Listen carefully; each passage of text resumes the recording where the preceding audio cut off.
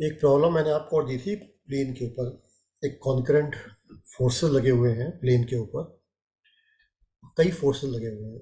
उनका हमें सम निकालना है और उसकी डायरेक्शन निकालनी है कि उन सारे फोर्सेस की जगह अगर हम कोई एक ऐसा फोर्स लगा दें जिसका इफ़ेक्ट वही हो, जो सारे फोर्सेस का है तो हम कैसे निकालते हैं? तो क्वेश्चन था calculate resultant of all the forces and its direction बस इस पॉइंट पे एक फोर्स लगा हुआ है टेन न्यूटन का, एक लगा है पचास न्यूटन का, एक लगा हुआ बीस न्यूटन का, एक लगा हुआ है बीस न्यूटन का। डिफरेंट डिफरेंट एंगल्स लगे हुए हैं। तो हम मान के चलते हैं दस न्यूटन का फोर्स एफ़ वन लगा हुआ जो कि एक्स एक्सिस के अलोंग लगा हुआ है। ये एक्स एक्सिस है हमारी। ये एक्स एक्सिस है। पचास न्यूटन जिसको एफ़ टू कह सकते हैं हम लोग। ये तीस डिग्री पे लगा हुआ है। एक्स एक्सिस तीस डिग्री पे लगा हुआ है एफ़ टू तीसरा फोर्स बीस न्यूटन का लगा हुआ है एफ़ थ्री जो कि वाई एक्सिस से 45 डिग्री पर लगा हुआ है। चौथा एंगल एफ़ फोर है बीस न्यूटन का, जो कि माइनस एक्स एक्सिस से 30 डिग्री पर लगा हुआ है। ये क्या है? माइनस एक्स ये क्या है? प्लस एक्स इधर क्या है? प्लस वाई ये क्या है? माइनस वाई ये क्या है? ज़ीरो ज़ीरो तो हमें इस सबका सम निकालना है। तो देखिए, बहुत आसान होता है, मैंने आपसे कहा था कि किसी भी फोर्स को हम एक्सिस के अलॉन्ग एक्स और वाई में ब्रेक कर लेते हैं।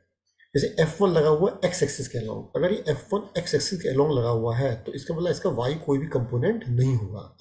यानी कि F1 one is equal to ten newton है तो F1 एक्स भी टेन न्यूटन ही होगा। ये किधर होगा? प्लस एक्सिस प्लस डायरेक्शन में होगा। एफ़ वन वाई इसका क्या होगा? ज़ीरो होगा। इसी तरह से अगर हम ये कहें कि भाई एफ़ वन वाई की बात हम लोग करते हैं एफ़ टू की फोर्स की बात करें एफ़ टू को इस से हम लोग तोड़ते हैं तो अगर F2 की बात करें, ये लगा हुआ पचास न्यूटन। अभी जो पचास न्यूटन का हमारा फोर्स लगा हुआ है, ये किधर लगा हुआ है? एक्स एक्सिस तीस डिग्री बना रहा है, देखो, बना रहा है ये। एफ़ टू की वैल्यू कितनी? पचास न्यूटन। इसका एक्स कंपोनेंट कितना होगा?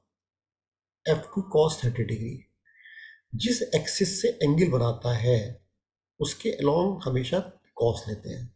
तो एफ़ पचास कॉस थर्टी डिग्री अब प्लस प्लस ये एक्स इस डायरेक्शन में है, यानी प्लस आएगा प्लस आ गया। इसका वर्टिकल कंपोनेंट आ गया F two sine thirty degree ये भी प्लस पॉजिटिव है तो हमने पॉजिटिव लिख लिया है। तीसरा फोर्स लगा हुआ है एफ़ थ्री एफ़ थ्री कितना लगा ये एफ़ थ्री लगा हुआ है। ये बना रहा है पैंतालीस डिग्री वाई एक्सिस से। तो अगर पैंतालीस डिग्री वाई एक्सिस से बना रहा है, इसको भी हम लोग ब्रेक कर, करते हैं। कैसे ब्रेक करेंगे, देखिए। एफ़ थ्री ऊपर की डायरेक्शन में ये एफ़ थ्री लगा हुआ है। एफ़ थ्री को ब्रेक करेंगे तो एक इसका एक्स एक्स इधर जाएगी, ऐसे करके।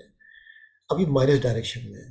तो F three sine forty five degree twenty sine forty five degree minus अब जैसा मैंने बताया था कि किसी भी फोर्स को किस, जिस एक्सिस के अलोंग हम लेते हैं,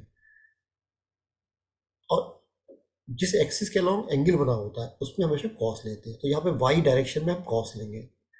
तो क्या होगा? F three y is equal to ये हो जाएगा हमारे पास F three y is equal to F three cos forty five degree बीस कॉस फोर्टी फाइव डिग्री ये प्लस में आएगा। इस तरह से एफ़ थ्री एक्स ये साइन में आएगा। क्यों? क्योंकि ये इस एक्सिस के अलॉन्ग नहीं बना रहा, ये इस एक्सिस के अलॉन्ग मिल दिया है हमने। तो आ गया एफ़ थ्री एक्स यानी हो गया ये बीस sine forty five degree minus का जाएगा। इसी तरह से एफ़ फोर की अगर हम बात करें, देखिए एफ़ फोर की अगर बात करें तो एफ़ फोर हमारा कहाँ लगा हुआ है? देखिए एफ़ फोर हमारा इधर लगा हुआ है, इस डायरेक्शन में। एफ़ फोर ये लगा हुआ है। और ये एक्स एक्सिस से बना रहा है तीस डिग्री।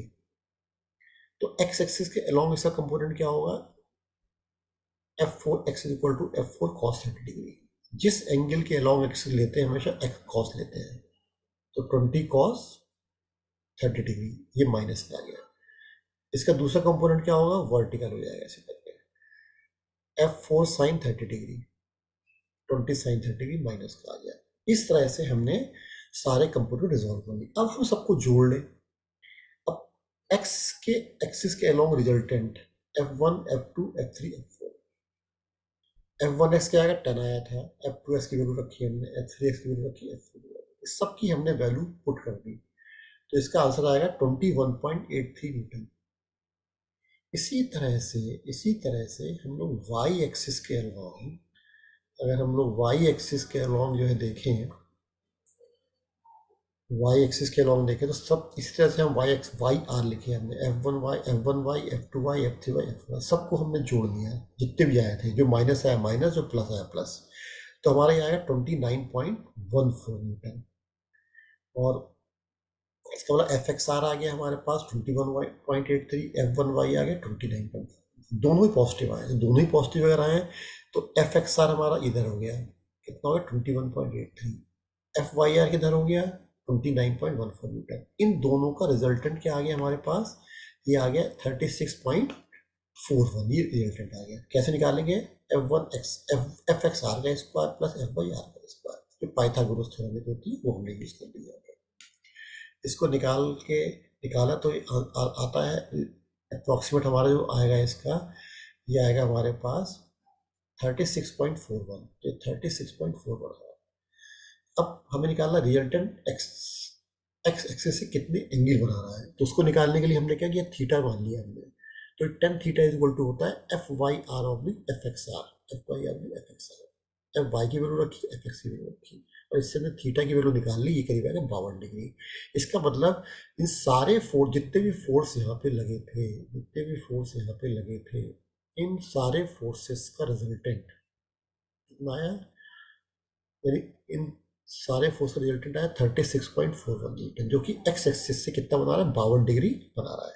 यानी अगर हम सारे फोर्स रिप्लेस कर दें और एक एक फोर्स लगा दें केवल thirty six point four one newton का जो कि एक्स एक्सिस से बावन डिग्री का एंगल बनाएगा तो उसका इफ़ेक्ट वही रहेगा, जो ये सारे फोर्सेस का इफ़ेक्ट यहाँ पे था तो इस सारे फोर्सेस को हम रिप्लेस कर सकते हैं केवल एक फोर्स से। तो इस तरह से हम इस प्रॉब्लम को सॉल्व कर सकते हैं। अगर इस प्रॉब्लम आपको समझ में आ गई होगी, फिर भी अगर आपको दिक्कत आई तो ये प्रॉब्लम मुझसे आप शेयर